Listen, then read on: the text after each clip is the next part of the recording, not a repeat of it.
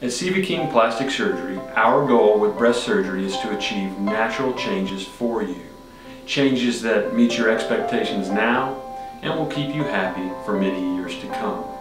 Finding that precise size takes a surgeon's experience and a willingness to spend as much time with your patients as needed. That's what we give you at Sieveking Plastic Surgery.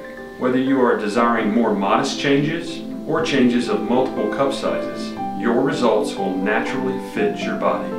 Remember, the results from breast enhancement surgery may very well last a lifetime. The time to get the perfect result is the first time.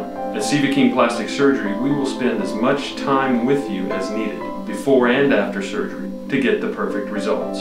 We use both silicone and saline breast implants.